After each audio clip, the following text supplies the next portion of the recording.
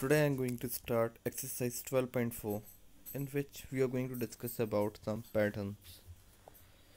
Look at question number 1. Observe the patterns of digits made from line segments of equal length. You will find such segmented digits on the display of electronic watches or calculators. See here in 6 how many matchsticks are used to draw? 1, 2, 3, 4, 5 and 6. 6 is used here. Then in second 1, 2, 3, 4, 5, 6, 7, 8 9 10 11 why 11 because this part is shared by first one and second 6 okay? Now in third similarly we have 1 2 3 4 5 6 seven, eight, nine, ten, eleven, twelve, thirteen, fourteen, fifteen, sixteen. Okay. So in 3, how many are shared? 2. 1 and 2. So basically how many are independent matchsticks we are using here? Independent means which is not shared by anyone so five matchsticks are there which is not shared by anyone how many? Five.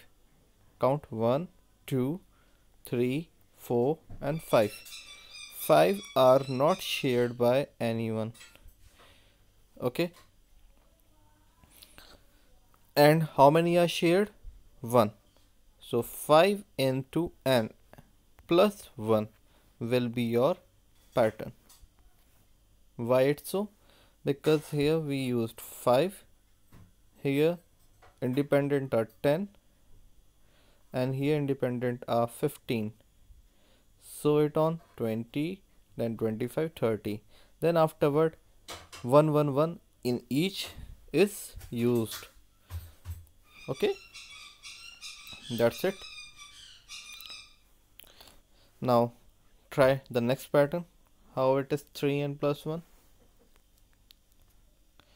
now see to make 4 how many matchsticks are used? 1 2 3 and 4 and second one 1 2 3 4 5 6 7 yes or no?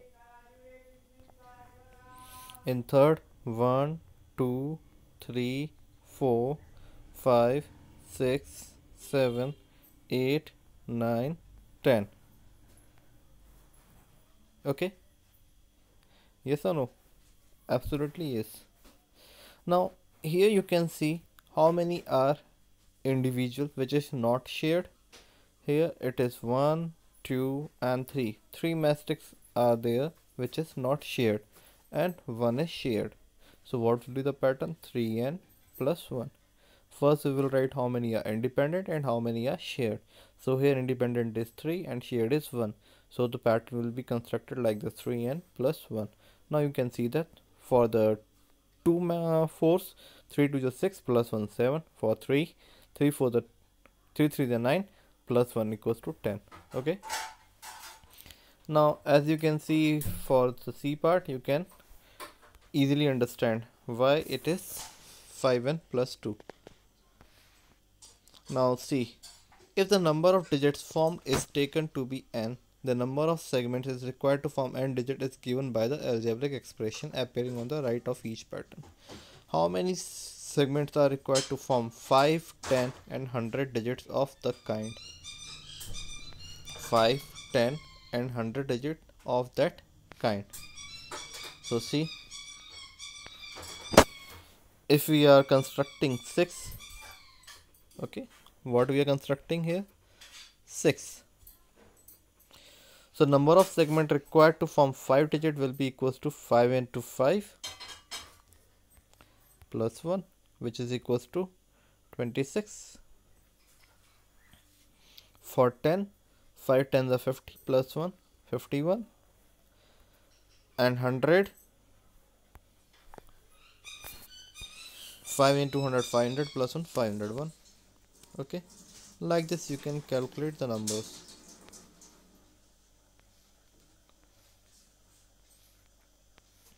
Hope you understand all three. Now i'm moving to the next question question number two. Use the given algebraic expression to compare the tables of number of patterns. Serial number expression and terms. First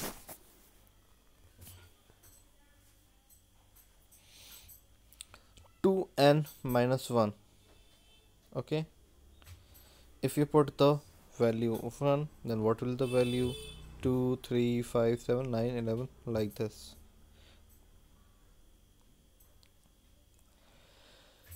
Now you need to complete the table.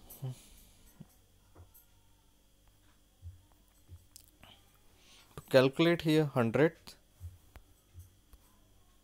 See what you will do? 2 multiply by 100 minus 1 which is equal to 200 minus 1 1 9 9 okay.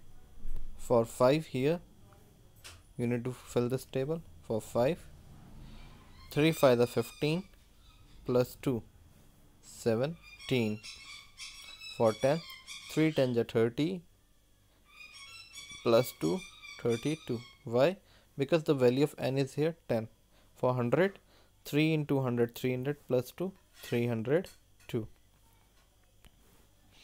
now the third fourth and fifth part see? Four n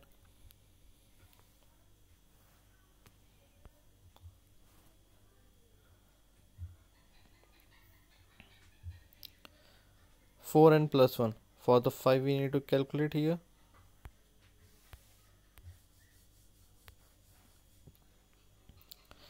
Four five the twenty plus one twenty one. Four ten the forty plus one forty one. Four into hundred plus one four hundred one. For fourth part, seven five the thirty five plus twenty fifty five. 7 10 70 plus 20 90 7 into 100 700 plus 20 is equals to 720 now the last part.